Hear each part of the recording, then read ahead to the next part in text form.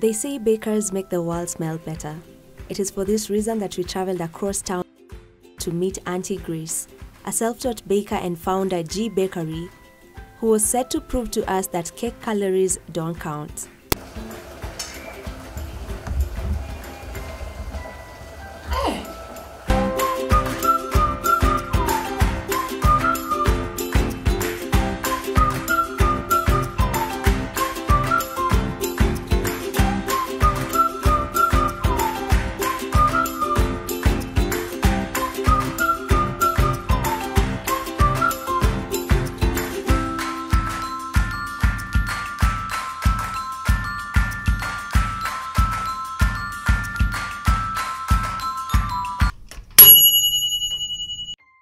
Auntie Grace did not always see herself as a baker. She had an 8 to 5 job that consumed much of her time and at times caused her difficulty in meeting her clients' demands. My name is Grace Katwa, but sana sana najulikana kama Auntie Grace, Auntie Grace wa makeki. Mimi ndio founder wa G Bakery. G Bakery ilianza 2020, acha niseme 2020 ndio ilianza officially but 2019 nilikuwa nikibake tu ile kidogo for family and friends hivyo. So 2020 nikaamua sasa acha nikuwe serious sababu watu wananyambia keki zako ni poa. Kwa nini usifanye hii kitu ikuwe kama hustle yako? So nikadecide kuifanya ikuwe side hustle. That time nilikuwa kona full time job ya 8 to 5 so hii ilikuwa nikitoka job jioni ndo nafanya na hapo ndio Bakery ilizaliwa na ikaendelea hadi tumefikia hapa As an entrepreneur, having multiple streams of income is the secret to making more money. So when the opportunity arose, she grabbed it.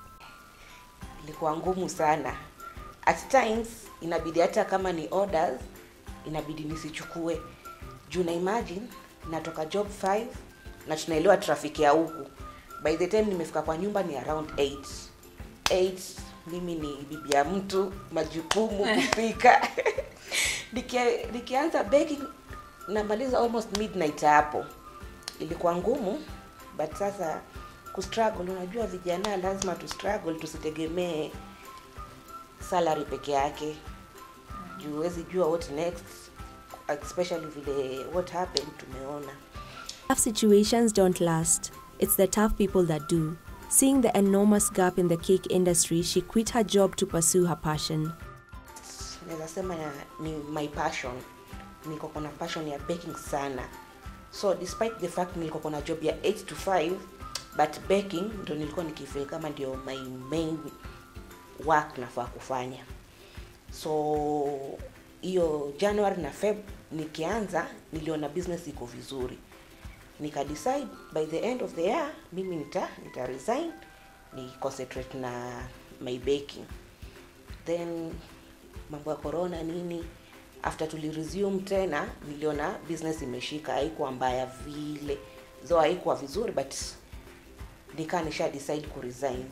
So nika resign nikijua 2021 mambo yatakuwa sawa na nifanye my full time job Auntie Grace can bake all types of cakes and for all occasions. Today, she will be preparing for us her signature cake, the chocolate main cake.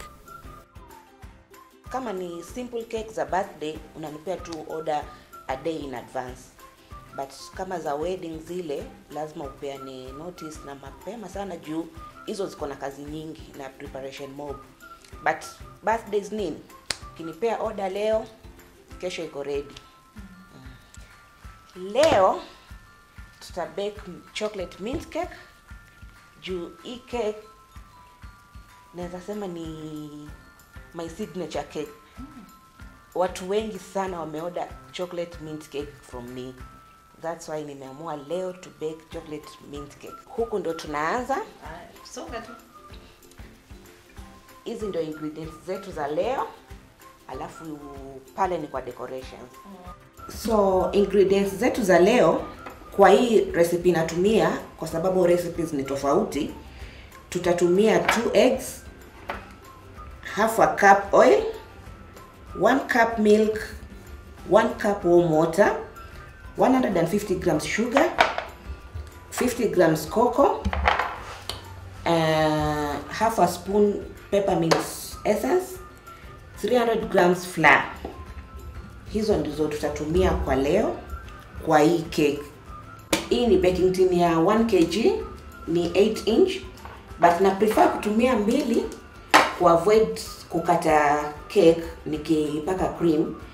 Una line your tin utaigrease na margarine then utaline na parchment paper. Ndio keki yako isishike unapo inapoiva She explains you could not see only her attention to detail, but also her mastery of the art of baking. advantage ya kutumia cooking oil kwa chocolate cake inasaidia inakuwa more dense vizuri. Tuna add maziwa 1 cup. After hapo uta add your warm water 1 cup. Na mix tu vizuri. Tuna add half a cup ya cooking oil. Na cooking oil yako usitumie ya ile iko na harufu kama olive oil. Unafaa kutumia ile ambayo haina harufu. Measurement kwa cake ni muhimu sana.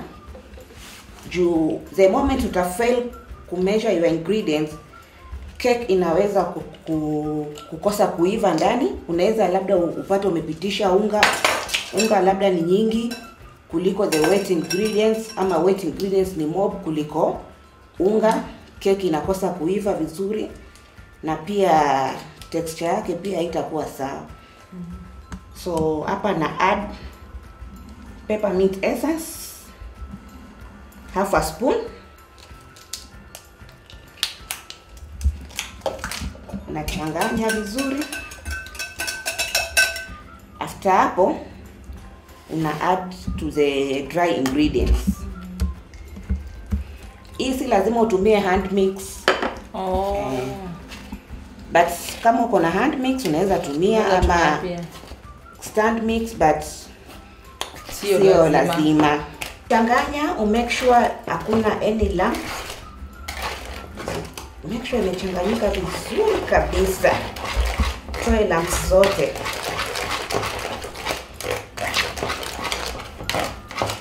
cake mixture pia ukuwa tofauti.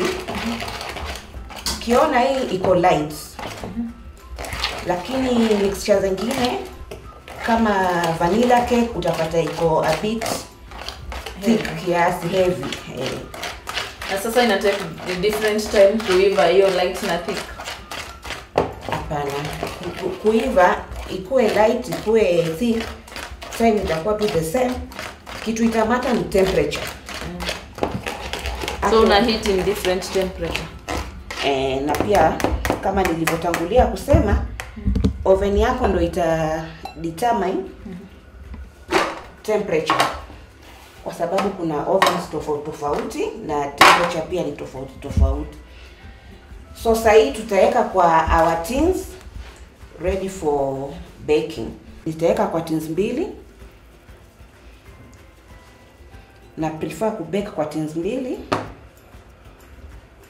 inakusevia tu mambo nyingi za kukatakata nini.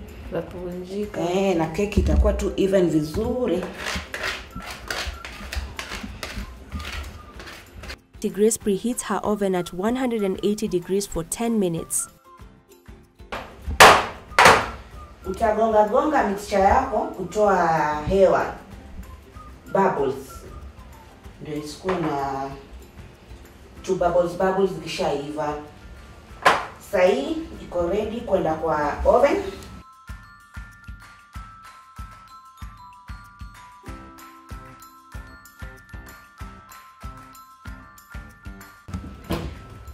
our baking time ni 40 minutes at 180 degrees. So keki yako ikiendelea kubake unakuja una clean vyombo ulikuwa unatumia unaziweka kando ukijitayarisha for decorations The baking time is 40 minutes. During the wait, we tidy up the kitchen table as she explains to me how she made the material for decoration.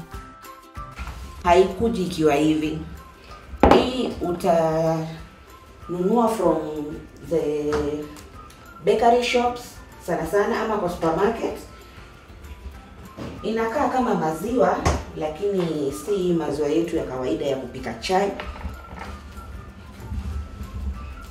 Inakaa hivyo whipped cream na inafaa ikuwe chilled.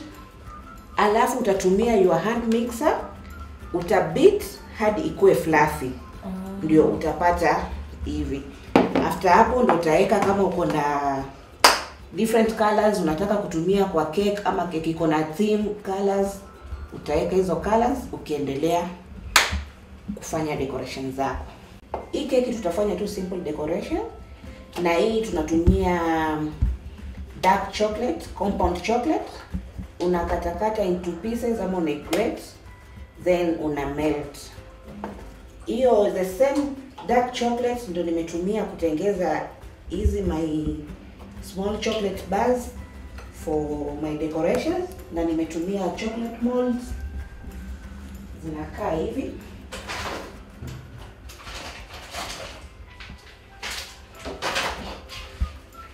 This is the dark compound chocolate yenye nilimelt kuachieve all this.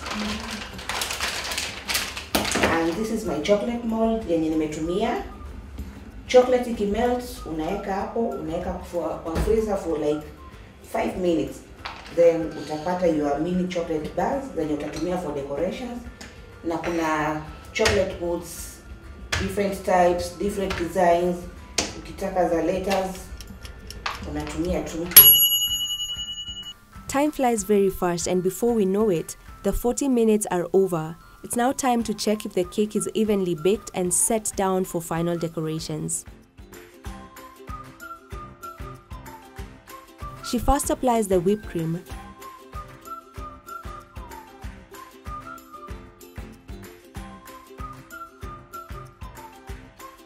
We chat about some of the challenges that she's encountered in this line of business and how she's been able to mitigate them. challenges zenye naweza sema napitia kwa wakati huu ni sometimes stima zinapotea na uko na keka hapo una una bake but at least siku hizi pia kume advance kiasi. Kama mimi stima ikinipotelea niko na my friend who is also my neighbor ako na gas oven huwa namuomba na bake hapo. Na pia kama ni oda si oda kubwa kuna another method kutumia mawe tatu. Na keki inaiva vizuri sana. E, challenge nyingine ni kupata ya vitu za baking za pastry. Sehemu naishi si rahisi hakuna pastry shops nyingi. Inabidi either niende town eh, Nairobi town huko CBD ama to the nearest town center yenye iko hapa but hata hao sometimes hawana vitu zote zenye unahitaji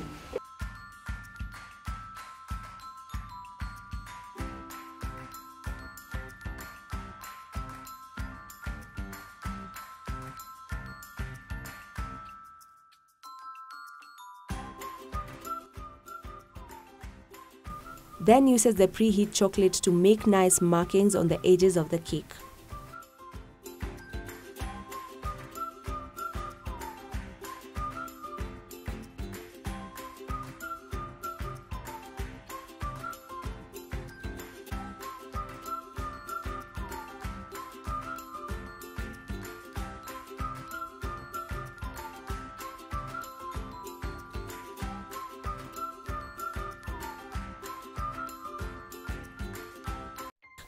The cake design is now more visible. You can see the beauty of it as the craftsmanship is on point.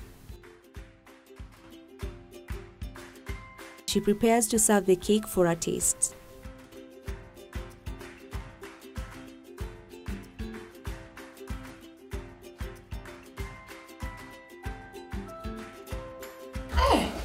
Hmm. sasa hii keki mtu akitaka kupata venye iko tu hivyo hivyo e, ni how much hivi? Keki tumetengeza leo ni 1600 only. Lakini kila keki ama kila flavor ya keki kuna na bei yake kulingana na design yenye client anataka kg zenye anataka. But sana sana prices zangu zina range from 1600 kuendelea. Na pia bei ni za kuongea tunaweza ongea tukaelewana vizuri kwa hiyo mtu asikose kupiga simu na kuitisha keki yake At first glance, the cake is well done, and when tasted, it was very delicious. Was going for the third helping when it dawned on me that truly, cake calories don't count. Setting up a business in this age requires a good social media presence.